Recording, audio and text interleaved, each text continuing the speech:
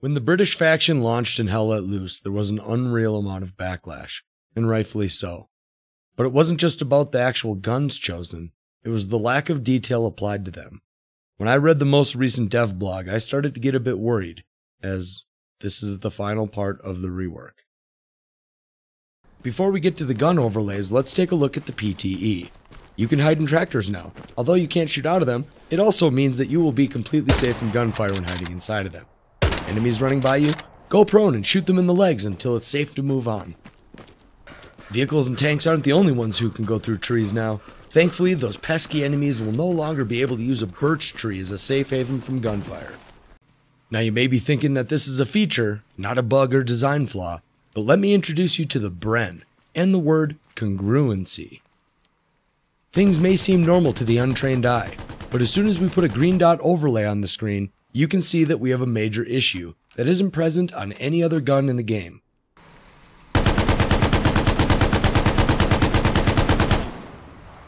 This has been this way since update 14 and has still slipped by Team 17's quality control department. Oh yeah, they fired them all. Good thing we can mount the bipod on fences, but don't you dare try to mount that gun on flat ground. The next images we will look at are set to 50% opacity, so we can view two images over the top of one another. The issue here is that for some reason, Skirmish mode seems to have a different perspective or FOV compared to the regular game mode. I tried to stand in the exact same spot with my back against a tree, but in the PTE you can run through some of the trees, so I did the best I could. The first thing you will notice is the position of the Sten V1 versus the Sten V5. Kind of odd, and lacks congruency across the rest of the game. Another thing you may notice is the crate on the left. Not sure why, but in the PTE, that crate seems thinner. And if you look at exactly where the overlays don't match perfectly, you will notice in the image with the Sten V5, the roof line of the house is to the left, and the hut made of hay has an overlay line to the right. If I moved forward a foot, it might correct this, but when I actually tried to get an exact copy of the image, I had to stand five feet away from that tree that's to my back. So I thought it would be best to stand in the exact same spot and try to figure out what's going on here. It seems like the perspective is off between game modes. If you played the PTE, then you may have noticed how quick the Sten V5 is to ADS. This might be because the gun already sits higher on the screen versus the Sten V1. I know what you're thinking. What in the hell could still be wrong with the Lewis gun? Well, Team 17 still cannot figure out where the center of the screen is. Even though this gun shoots perfectly out of the center of the sight, the gun needs to be adjusted to the left. But remember, this rework, which is more of a refresh, is not finished, and calling this finished shows a lack of craftsmanship and attention to detail. There's no excuse for this one at this point, as they've had eight months to get this one right. Damn boy, ye thick boy, that's a thick ass boy, especially when compared to the grease gun. If you saw my video pointing out these issues prior to this video, then you will remember me pointing out the issue with the rear sights being out of alignment with the front sights.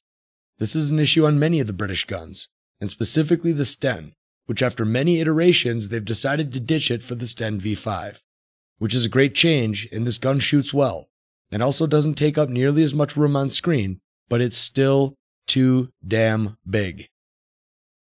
This is a comparison of the SMLE and the Garand.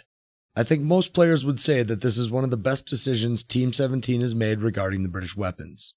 This gun sounds awesome and performs just as well.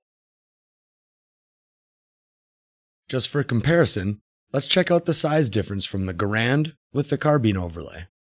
Notice how they are basically the same width, including the hand. Check out the carbine with the SMLE overlay. Looks great. If Team 17 spent the time to remodel a new gun, why not use a similar gun for reference of size? You're 95% of the way to making the gun perfect. But apparently that's good enough and us plebs can go pound sand. Just for a quick size comparison, let's look at the grease gun with the Bren overlay. I would love to see the Bren sight opened up a bit, to balance out the lack of visibility of the gun taking up the right half of the screen. To be fair, when we look at the Bren overlay on the carbine, and we compare the sights, the carbine does have a smaller sight by just a tiny bit, but it also has the side posts angled, which adds to the visibility ever so slightly. We all want to be excited when a British map pops up, and currently every player knows how disadvantaged they are because of the lack of usability with these weapons. So from a player's perspective, this is not ready to be called the last rework, as there is still details that are clearly not finished. Acting like nobody will notice and having a good enough attitude is what cost the trust of the player base back in June of 2023. And with all of the new players entering the game due to Game Pass, it would be a shame to move on from something that's pretty close to being perfect. The British weapons seem to be getting the same treatment as Stalingrad, which has never seen a single day of smooth gameplay. Moving on because you're tired of working on the same thing is the same reason Black Matter sold the game. So to have its successor treat the game the same way is a real shame. Let's hope that roadmap isn't full of a bunch of great ideas that will never become a reality. See ya.